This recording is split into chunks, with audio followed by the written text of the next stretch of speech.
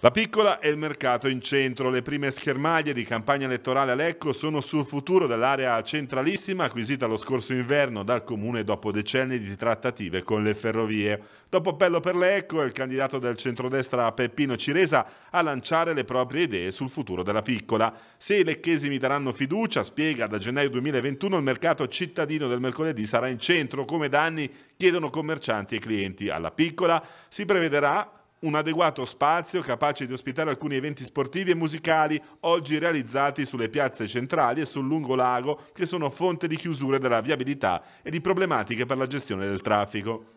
Ciresa lancia inoltre l'idea di collocare alla piccola la biblioteca civica l'Informa Giovani, oggi dichiara si trovano in luoghi poco fruibili. Infine l'ipotesi è anche quella di collocare una fermata del treno su misura per gli studenti che frequentano le superiori.